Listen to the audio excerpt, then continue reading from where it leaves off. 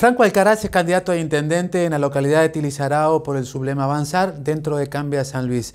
Franco, ¿cómo es para un ciudadano que no es funcionario público, que no vive de la función pública, eh, ser candidato o dedicarse a la política? ¿Te queda tiempo? La verdad que estamos peleando mucho con el tiempo, eh, no es mucho lo que sobra. Lamentablemente cuando uno no vive de la política eh, tiene que seguir trabajando y fomentando eh, lo que hace día a día, ¿no?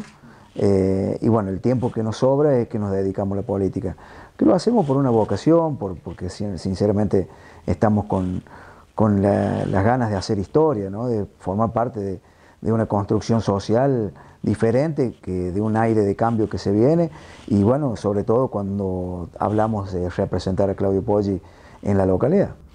Franco, ¿y qué haces cuando no haces política? ¿Cómo es tu día?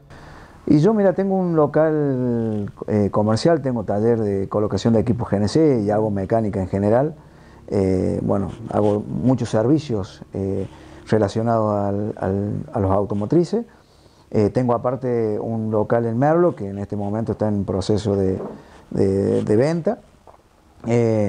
Y estoy desde las 7 y media de la mañana hasta las 7 de la tarde trabajando en mis locales comerciales, aparte de otros emprendimientos que vengo haciendo ya hace varios tiempos, hace dos o tres años que, estoy emprendiendo eh, otros rubros. ¿no?